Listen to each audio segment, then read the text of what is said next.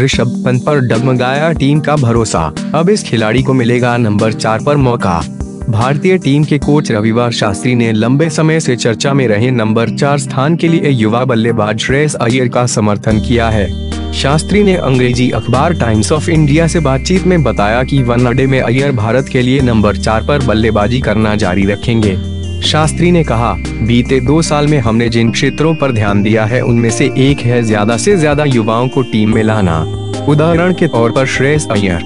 वह नंबर चार पर बल्लेबाजी करना जारी रखेंगे।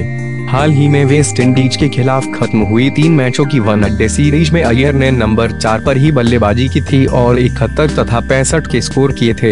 अय्यर से पहले युवा बल्लेबाज ऋषभ पंत को नंबर चार के लिए आज आजमाया गया था, लेकिन वे पूरी तरह से विफल रहे थे।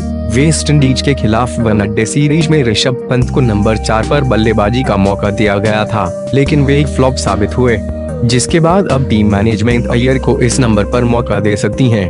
टीम इंडिया के लिए नंबर चार पर बैटिंग करते हुए अय्यर कई मुश्किलें आसान कर सकते हैं।